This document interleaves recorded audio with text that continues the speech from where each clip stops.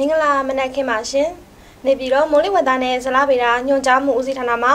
2023ခုနှစ်စက်တင်ဘာလ17ရက်နေ့မနက်9:00နာရီကျတော့ပြန်တဲ့မိုးလေဝသသတင်းများကိုတင်ပြပါမယ်ရှင်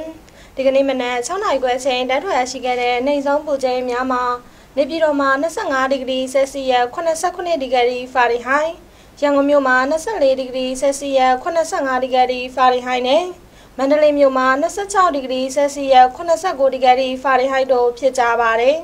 ။ဒီကနေ့မနက်6နာရီခွဲချိန်မိုးလေဝသကြိုးတို့မှာဖမ်းရရှိတဲ့ပုံရကပလီပင်လယ်ပြင်နဲ့ဘင်္ဂလားပင်လယ်အော်တို့မှာတိမ်တင်တဲ့မှာတိမ်ထူထပ်နေပါတယ်။မြန်မာနိုင်ငံမှာကလည်းတပြည်လုံးမှာတိမ်တင်တဲ့မှာတိမ်ထူထပ်နေတာကိုတွေ့ရပါတယ်။ဘင်္ဂလားပင်လယ်အော်အခြေအနေကတော့ကပလီပင်လယ်ပြင်နဲ့ဘင်္ဂလားပင်လယ်အော်တောင်ပိုင်းတို့မှာမုတ်တုံလေးအားကောင်းရာမှာအားလွန်ကောင်းနေပြီး ကြံမင်္ဂလာပင်လယ်အော်မှာမုတ်တုံလေးအားတင်တင်ရှိနေပါတယ်။မြမပင်လယ်ပြင်မှာ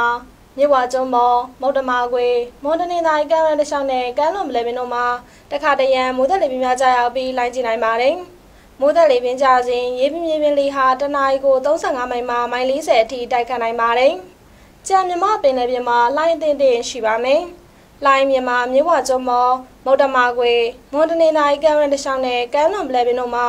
ရှစ်ပေမှာ10ပေခန့်နဲ့ရခိုင်ကမ်းရန်တစ်ချောင်းနဲ့ကမ်းလွန်ပလဲပင်တို့မှာ9ပေမှာ9ပေခန့်ရှိနိုင်ပါတယ်။ဒီကနေ့ညနေထိခန့်မှန်းချက်များအနေနဲ့ကတော့ရှမ်းပြည်နယ်အရှေ့ပိုင်းနဲ့ကယားပြည်နယ်တို့မှာနေရာကျကျ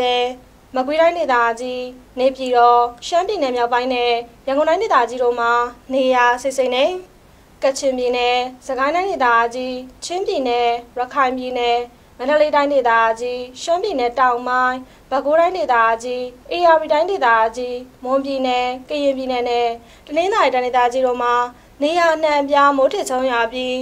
စကိုင်းတိုင်းဒေသကြီးအောက်ပိုင်းရခိုင်ပြည်နယ်မန္တလေးတိုင်းဒေသကြီးမွန်ပြည်နယ်နဲ့တနင်္သာရီတိုင်းဒေသကြီးတို့မှာနေရာကွက်၍မိုးကျင်နိုင်ပါတယ်။နေပြည်တော်နယ်နီးတဝိုက်အတွက်ဒီကနေ့ညနေအထိမိုးလေဝသအခြေအနေခံမှန်းကြမှာနေရာကွက်ကြားမိုးထစ်ချုံရပါမယ်။ အမြင့်ဆုံးပူချိန်မှာ32ဒီဂရီဆယ်စီယပ်60ဒီဂရီဖာရင်ဟိုက်ရှိနိုင်ပါတယ်။ရန်ကုန်မြို့နယ်အနီးတစ်ဝိုက်အတွက်ဒီကနေ့ညနေထိမိုးလေဝသအခြေအနေခန့်မှန်းကြပါလိမ့်။နေရာကွက်ကြားမိုးထစ်ချုံရပါမယ်။အမြင့်ဆုံးပူချိန်မှာလည်း32ဒီဂရီဆယ်စီယပ်60ဒီဂရီဖာရင်ဟိုက်ရှိနိုင်ပါတယ်။မန္တလေးမြို့နယ်အနီးတစ်ဝိုက်အတွက်ဒီကနေ့ညနေထိမိုးလေဝသအခြေအနေခန့်မှန်းကြမှာမိုးတစ်ချိန်နှစ်ကြိမ်ထချုံရပါမယ်။အမြင့်ဆုံးပူချိန်မှာ 34ဒီဂရီဆယ်စီယပ်63ဒီဂရီဖာရင်ဟိုက်ရှိနိုင်ပါတယ်။နောက်နေ့အတွက်ခံမှန်းချက်များအနေနဲ့ကတော့အေရရီတိုင်းဒေသကြီးမွန်ပြည်နယ်ကရင်ပြည်နယ်နဲ့တနင်္သာရီတိုင်းဒေသကြီးတို့မှာမိုးဆက်လက်ပိုနေပါမယ်။အခုတင်ပြခဲ့တာကတော့ဒီကနေ့မနက်9နာရီကျင်းထုတ်ပြန်တဲ့မိုးလေဝသသတင်းများပဲဖြစ်ပါတယ်။ကိုစိတ်နှပြချမ်းသာချမ်းသာကြပါစေရှင်။